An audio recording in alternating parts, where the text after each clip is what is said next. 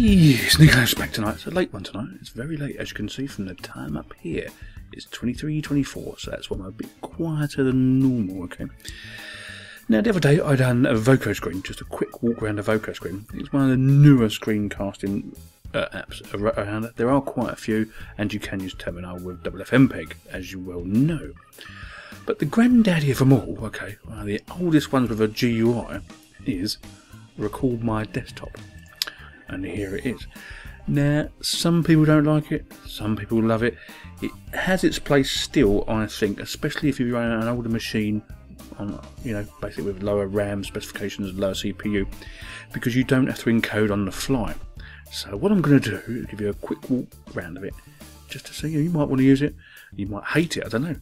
There are some problems with it, with certain things, but they seem to be ironed out over the past couple of years. When I first started using it, ooh, five years ago, it was the dogs. It was probably one of the only ones around that worked, to be really honest with you.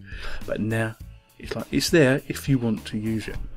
So this is the main screen once you install it from the software center or Synaptic or whatever you want to do. Okay, whatever you want to do. And this is the first screen you get up, and you get video quality and sound quality.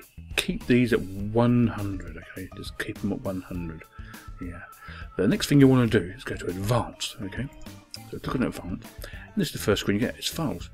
And your working directory is a temporary directory, okay? For the simple reason we're not going to encode on the fly.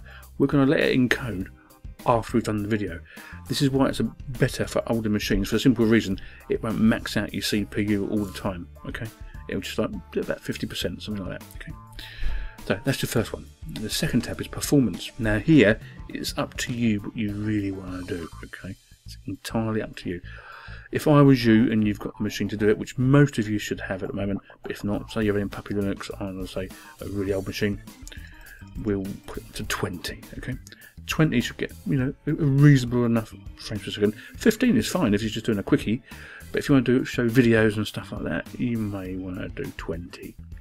Encode on the fly, don't do it because you're just going to process on the fly, you know, and your CPU will go bang and it's you'll just drop frames all the time and it'll be rubbish.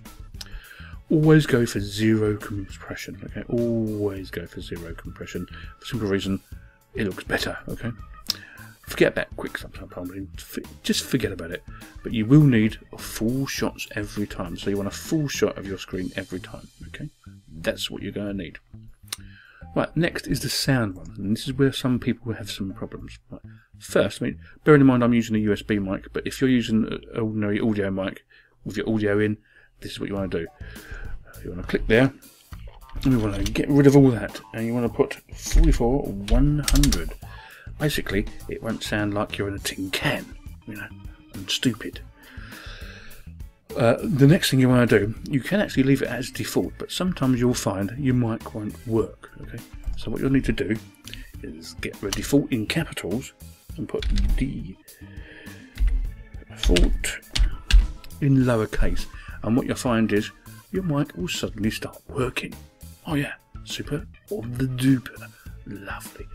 But under MISC, you can basically leave this as it is really. You don't really need to do anything there whatsoever.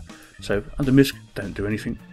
Under sound, change that to 44100 and change that to default lowercase, okay?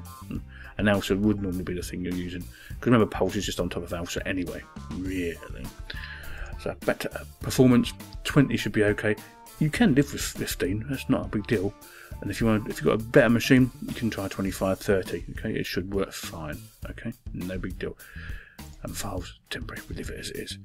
And that's all you do. And as soon as you click on a record, this will disappear, and that will change colour up there, and you'll be recording. And what will happen is, once you've finished recording, and you click on the red button or whatever colour button it is up there, you'll see a little thing and it will take ages and ages and ages to go across, especially if you're using a big resolution like I am. But if you're on a Lappy or something like that, it shouldn't take too long. But if you've got a low powered machine, say you're only using a 2 gig single core machine, it's going to take maybe up to half an hour to encode your video. Yeah, that long. I know what you're saying, yeah. But yeah, this is the granddaddy of them all, Record My Desktop. It still has its place for certain people. I still use it now on different machines because sometimes other stuff just don't work. And Record My Desktop does work. Yeah. You will find that the output is OGG and OGV, so it's OGG video and OGG for audio. and that'll be fine. Just run it for Audacity, just split it and put the audio through Audacity, and super duper. Check it out, lovely. You got your video done. Yeah, old school. Record my desktop. It's still out there. It's still good to use.